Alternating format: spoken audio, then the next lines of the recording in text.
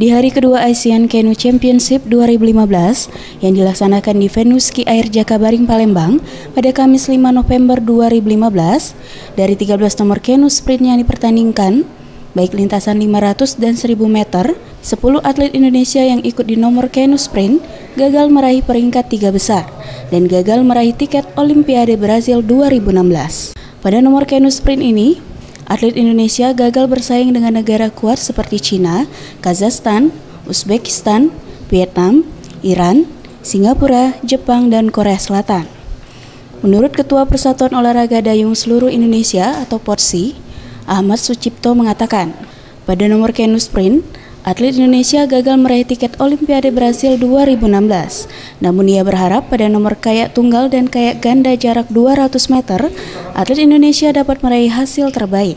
Sudah melihat beberapa hasil dari uh, kejuaraan Asia Keno Kayak tahun 2015 yang juga menjadi lomba untuk kualifikasi Olimpik Rio 2016 nanti.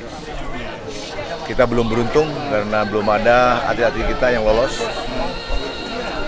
Karena diputuskan bahwa hanya pemegang medali emas yang berhasil merebut medali emas yang lolos ke Rio.